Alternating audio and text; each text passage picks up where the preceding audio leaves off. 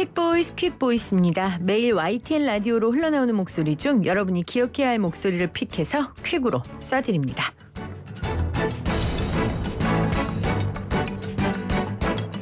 윤석열 후보의 아내 김건희 씨 논란에 대해 국민의힘은 결혼 전의 일을 가지고 왜 그러느냐라는 입장입니다.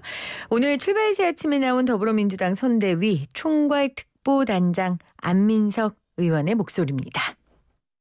네, 이게 그러지 않습니까? 이제 결혼 전액 걸 가지고 뭘 그러냐. 네네. 그게 이제 윤석열 캠프나 본인이나 뭐 당사자 그- 그리고 이제 이제 김종인 위원장도 뭐 그런 말씀 하시는데요. 결혼은 이분들이 2012년도에 했어요. 예. 근데 어제 저희들이 문제 제기한 안양대 네. 그 허위 이력은 2013년 이력서예요. 예. 그리고 2014년 국민대 이력서에도 예.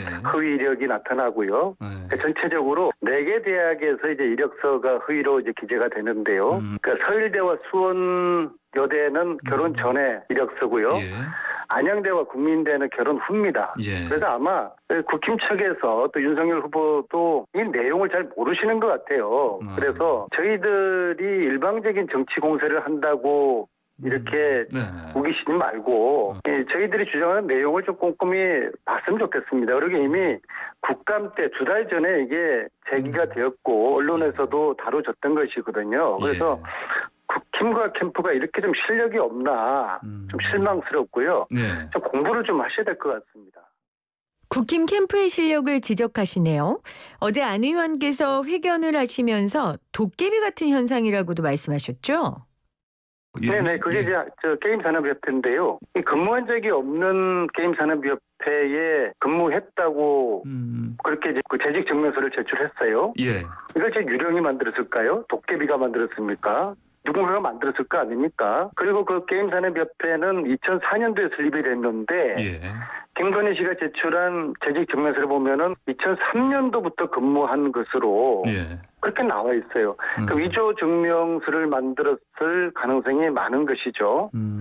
만약에 게임산업협회 김건희 씨가 근무했는데 근무하지 예. 않았다고 지금 하고 있고 예. 만약에 2003년도에 근무했는데 이것도 게임협회가 2004년도에 설립해서 여기에 대한 뭐 오해와 거짓 논란이 지금 있지 않습니까? 그러면은 음. 김건희 씨가 만약 억울하다 그러면은 김건희 씨 스스로 이거는 검증을 의뢰를 하실 것을 제안드립니다. 윤석열 후보의 해명은 어떻게 보세요? 그러니까 윤석열 후보가 이제 해명하는 그런 이제 논- 논조죠. 뭐 음. 부분적으로는 뭐 문제가 있을 수 있으나 전체적으로는 문제가 안 된다는 식인데요. 예. 이력서라는 게요. 예. 가령 우리 청년들이 그 이력서 쓸 때 숫자 음. 하나하나에 또 사실 하나하나에 예. 신중에 신중을 기하고 혹시라도 잘못된 것이 있지 않을까 음, 네. 얼마나 꼼꼼히 씁니까? 또 그리고 이력서라는 게 허위 사실이 있으면은 임명도 취소되지 않습니까? 그럼 제가 윤석열 후보에게 여쭤보겠습니다. 이력서 10개 중에서 한두 개 허위 기재되더라도 예. 전체적으로 문제가 없는 것입니까? 이게 검찰총장을 하신 분이 또 공정을 기치로 내것이고 대통령 나오신 분이 하실 말씀인지 예. 한 가지 거짓말 듣기 위해서 일곱 가지 거짓말 해야 된다는 영국 속담이 예. 떠오르는데요. 예. 저는 이 문제 본질은 공정을 이야기하는 윤석열 후보의 이 허위 공정 이 때문에 이제 균열이 생기는 그런 사태를 불러오고 그리고 결국에는 윤석열 후보가 이야기하는 가짜 공정의 댐이 결국엔 붕괴될 수가 있는 그런 중요한 사안이다. 예. 그러니까 김건희 씨나 윤석열 후보자는 이 사안의 심각성을 모르는 것 같아요.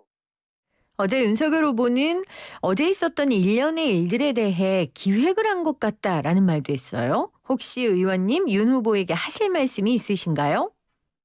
윤석열 후보님 저희들 기획한 거 아니고요. 음. 어제 뉴스 공장 누가 출연했는지 어제 밤에 제가 음. 뉴스 통해서 알게 됐고요. 예.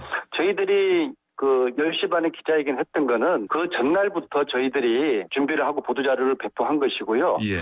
사실은 당 지도부 일각에서는 어, 이것을 만류했던 분도 계셔요. 아. 저희들 기획한 거 아니니까 윤석열 후보님 그런 세상을 항상 그렇게 의심의 눈으로 보지 마시고요. 예.